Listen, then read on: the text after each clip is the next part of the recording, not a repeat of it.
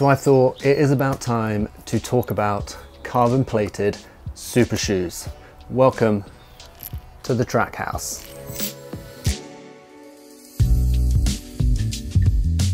We're gonna kick this one off with the Hoka Cielo, Cielo, Cielo. We're gonna kick this one off with the Hoka Cielo X1. Let's talk super shoes. What do you think of these? So you can see that I've already worn these at least a little bit. And the nice thing about these super shoes is they've started showing the carbon you can see the carbon fiber in the bottom of the sole, which I think is very cool. So let's get into the nitty gritty of what makes this such a hardcore super shoe. This is the Cielo, which is Spanish for sky. I had to look that up. Look at the profile of it though. Super interesting super shoe. I think the first thing that jumps out at me, if we forget about the styling, is the curve on the front end of the shoe is almost kind of matched by having a curve at the rear end of the shoe. And Hoka typically referred to this as a, what do they call it? Rocker. Hoka has typically referred to this as a rocker. So you get that front place rocker, but they've actually rounded off the heel as well. So we will jump on the treadmill and I'll give you a running example of what these are like. Some stats, simple stats, 260 or 250, 260 pounds, British pounds. You get the midsole, which is the foam in the middle. That's double layered and the carbon fiber sits in the middle. And they call it a winged carbon fiber. I think it just like spreads out a bit wider in the front end of the shoe. Knit upper and all the kind of usual super shoe kind of stuff that keeps the weight down on that. These are 264 grams. And for a big pair of you know, elite level 10K through to marathon distance super shoe, carbon fiber, you know, that is a good weight. I was really keen to test these out. I, re I, been, I have been I have been really keen to test these out purely from the way that they look. The stack height is 29, 39 mil at the front, 32. Let me start that again. The stack height is 39 at the heel. I think it's like 32 in the midfoot. It does vary because it's a you know, you can literally see the amount of foam, midsole foam. I'm gonna whack these on, jump on the treadmill, I'm gonna give you a little rundown whilst I'm moving in them so I can just give you a bit more feedback in how they feel. Let's do it. Before we get into all this, let's just talk super shoes for a second. How good is my treadmill setup? I absolutely love it. This is a bit unnecessary, but adds to the vibe, gets me out here, encourages me to do it. And again, that's why I like it. So what is a carbon plated super shoe and why do you need one? Or do you need one? So the principle is pretty simple. A shoe or a carbon plated shoe, super shoe, a carbon plated super shoe is designed to reduce the impact from running hard and fast, but provide you the most energy return. Ultimately, if you were to try and reduce impact full stop, you'd just run barefoot on a beach because the sand will absorb all of that impact, but also absorbs a lot of your energy when you're trying to push off, which is why it's harder to run on a beach. So a super shoe, a super shoe has the difficult task of softening the impact, but also returning the energy. So it's kind of like running on a beach in terms of impact, but trying to provide that springboard when you're actually stepping off. And this is what happens when you have that nice big midsole, that thick layer of midsole, and the carbon plate in the middle. So the midsole absorbs, and the way that the shoe is designed, especially the Cielo, with that rolling rocker off the front of the shoe, stops that real sharp impact point. And it's the same with the heel of the shoe. Now that I'm walking in it, it doesn't necessarily feel super stable because you get the effect of that soft foam. It's rolling side to side a little bit, which I guess doesn't really matter when you're walking. It's more important to how does it feel when you are running. And you, when you are walking in it, you can feel that, that foam just absorbing the impact. And that is going to effectively, if you are running fast, reduce the impact and the stress that goes through your muscle. So you should be able to run a little bit faster for a little bit longer. And this is where that kind of 3 4% saving on wearing a super shoe or improvement comes in. So, you know, they say 3 4% when you wear a super shoe, which I guess you can't really argue with that. And then the carbon plate is for that springboard. So the carbon gets loaded when you start rolling through from the midfoot to the toe for your toe off and then it will kind of snap you forward and that's the concept. So you combine that really soft foam with that carbon fiber plate and then voila you have a super shoe. The problem is though is that the soft foam doesn't tend to last but we don't have to worry about that just yet because this is a new pair of shoes and we're going to give it a little test run now. So let's get up to speed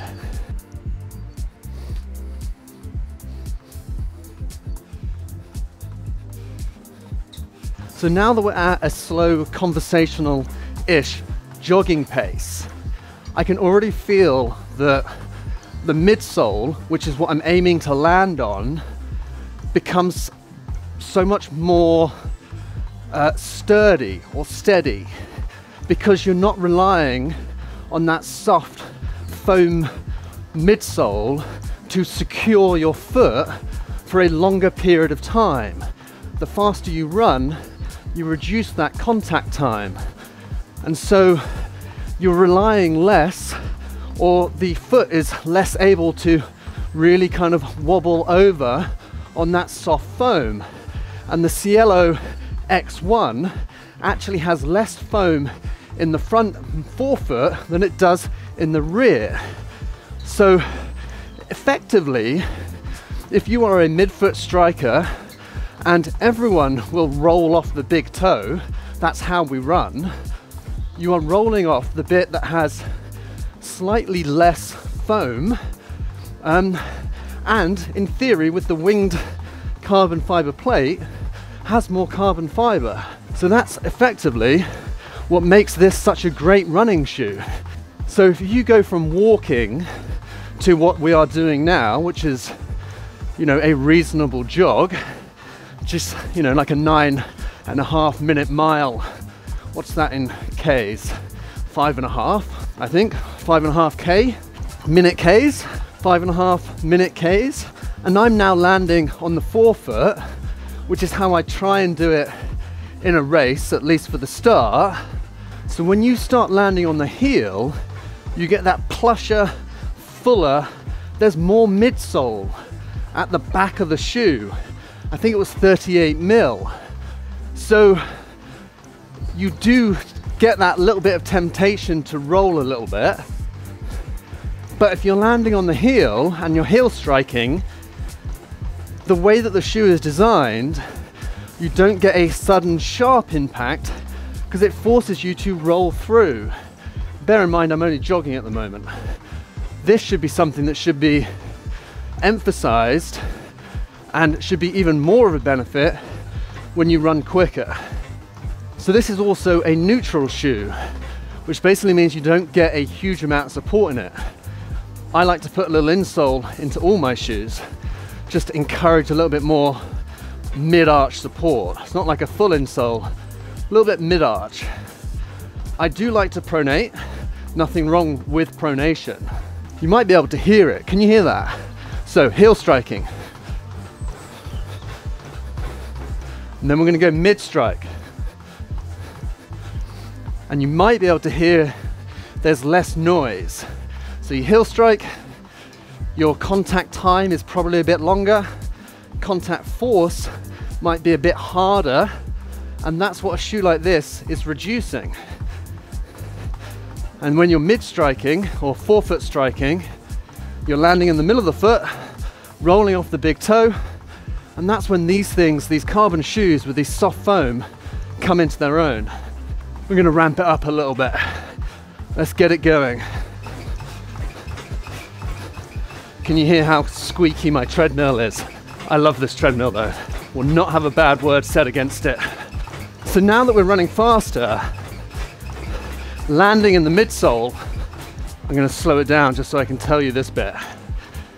Now that when we get up to speed, and we run quicker and you land on that midsole, midfoot, forefoot, you just roll through really nicely. And the idea is that that carbon plate, the winged carbon plate, just propels you forward and you get the soft cushioning of the foam. And that foam isn't just like, the goal of the foam is not to be completely soft and just squishy. It has to have some energy return to it as well. And you combine the two. But as I'm walking now, you can feel the height of that midsole and you can feel how the stability of the shoe changes when you are at a low speed compared to a high speed. Obviously, aim of the game when you are out running your 10k, 5k, half marathon, marathons is to be running at a higher speed. And I can 100% see why a shoe like this is going to help you do that. So the Cielo X1, uh, from my point of view, I managed to run, I did a 10K in it. I did the London Winter Runs 10K. And while it wasn't a PB, from the state of like how I've had to come back from an injury, managed to get to the point where I ran, well, a PB for the last three or four years. Um, so it definitely did play its little role in my own little journey. So as I said, that heel has a lot of cushioning in it. I think it's like 38 mil, and I think it's 32.5 in the front. There's a 7.5 mil drop between the back of this shoe and the front. So you get way more cushioning in the heel combined with that rolling nature of the heel. This is you know, a really, I don't want to say forgiving, but it allows you to land and roll all the way through just using the simple physics of not having a flat shaped heel um, and also having that rocker on the front of the shoe.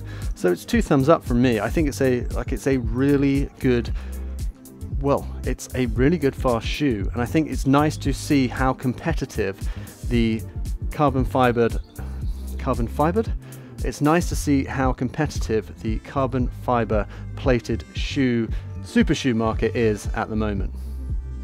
So we're going to leave this one here. In terms of styling, it's not something I've covered. I'm going to leave that completely up to you guys.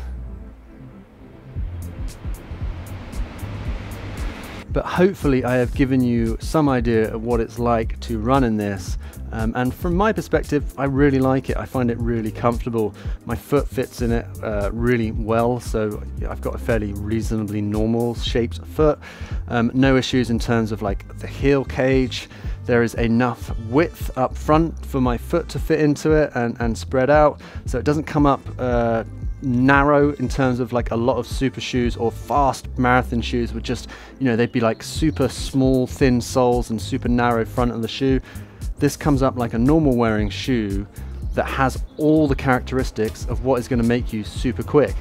So that's a wrap from the Trackhouse, guys. Thanks for sticking around, like, subscribe, and I will see you on the next one.